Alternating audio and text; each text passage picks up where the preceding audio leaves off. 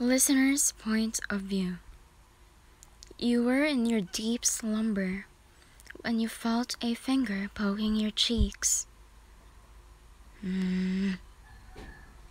You muttered, signing to the person beside you that you don't want to wake up just yet, knowing that the person poking your cheeks is Killua.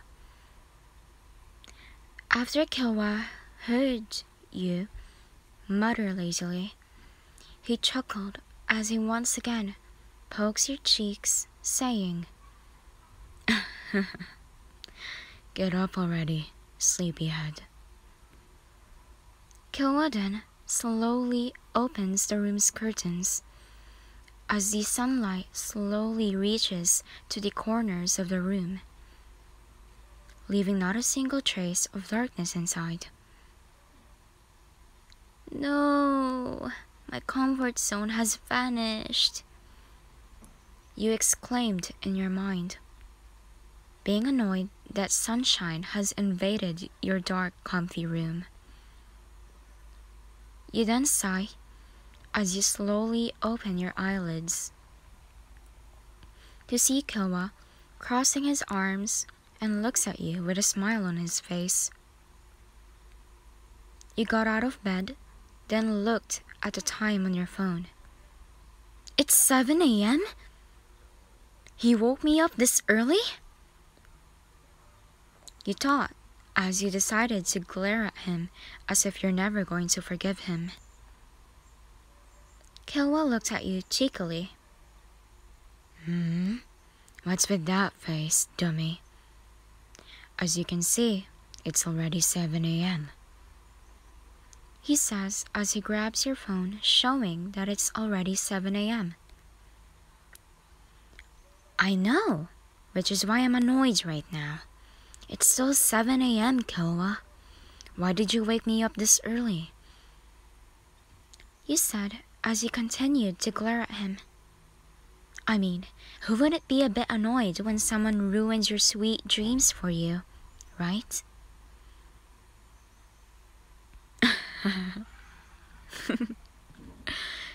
Just come on already. Get dressed. It's a good day today, and Gon invited us to his ice cream party. Killua says as he grabs your hand and leads you to the shower. Now, get your lazy butt in there and get ready. You stink bug. Killua chuckled as he closes the shower doors, then finally gets out of your room. You were left speechless inside the shower. You thought of his last comment again. Then you exhaled deeply, finally cursing his name to the winds. A few minutes passed, and you finally got ready. Then decided to meet up with Killua at the front door. Hey, did you eat breakfast already? Killua said with a worried expression, thinking that you either forgot to eat breakfast or skipped breakfast.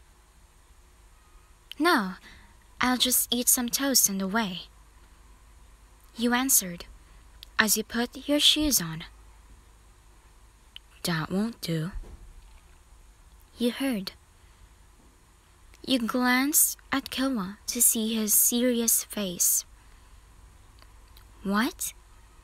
You asked. I said that won't do. Killua replied. Get back in the kitchen and eat, dummy. Your stomach will feel uncomfortable if you eat ice cream without much food inside it. He added, Time skip to walking with Killua to the party.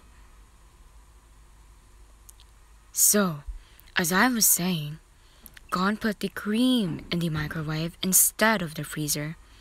So the cream became melted ice cream instead of iced cream.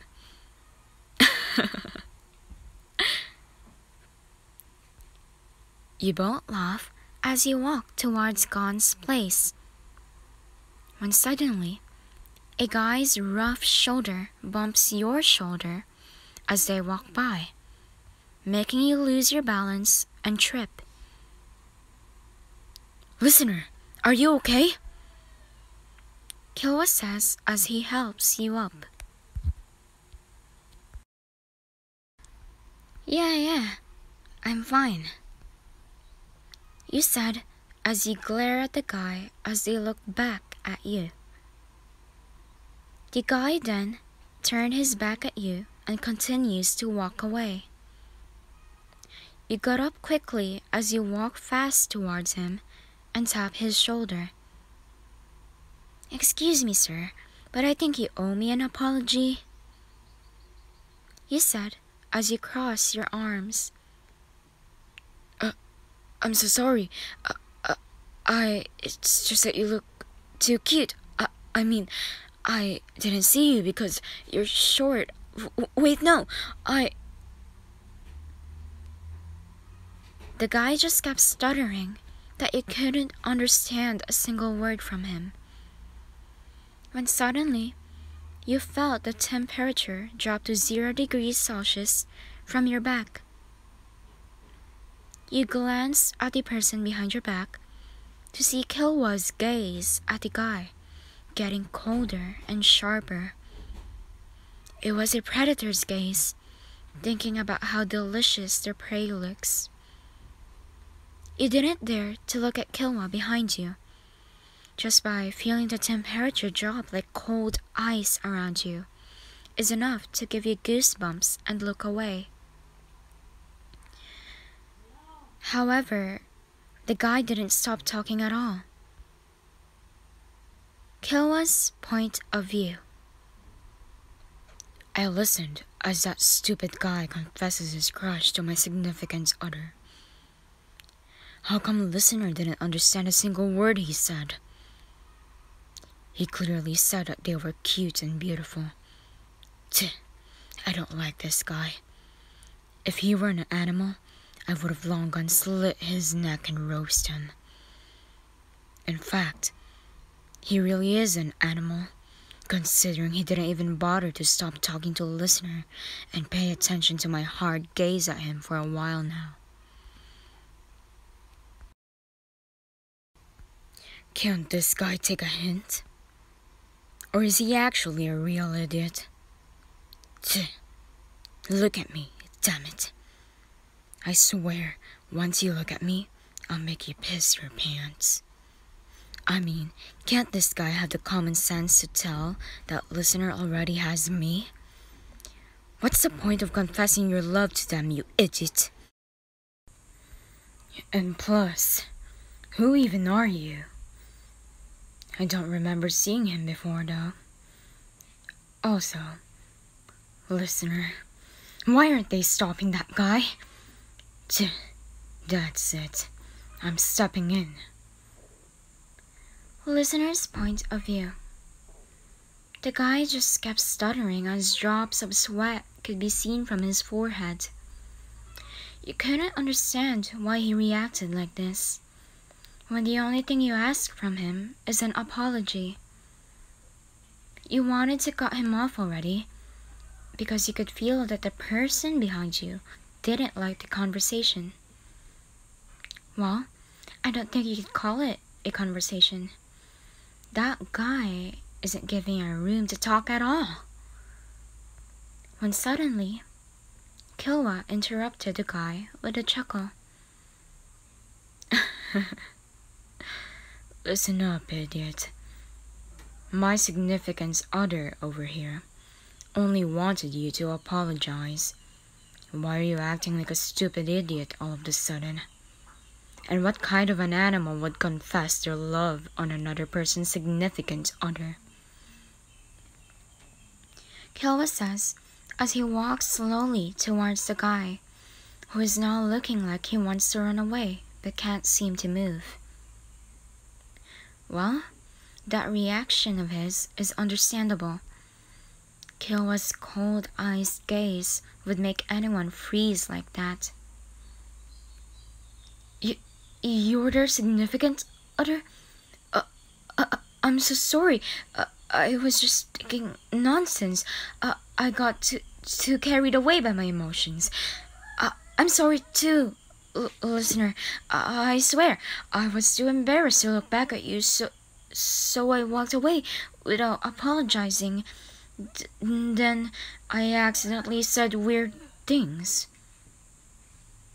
The guy said, as he dared not to look at Killua's cold eyes gaze. Are you sure that's all? Killua says as he rests his hand on the guy's shoulder, acting all friendly. Y- yes, I'm sure. The guy trembled. All right then, you may go now. Killua said, with a gentle smile on his face, like he didn't just give the guy the coldest gaze a minute ago. What a two faced person. Creepy. You thought. Narrator's point of view, aka me. the guy ran away as he pissed his pants, making people look at him like a miserable joke. I feel sorry for the guy, but whatever. Both listener and Killua have arrived to Gon's melted ice cream party because he forgot that the ice creams are supposed to be at the freezer and not the microwave.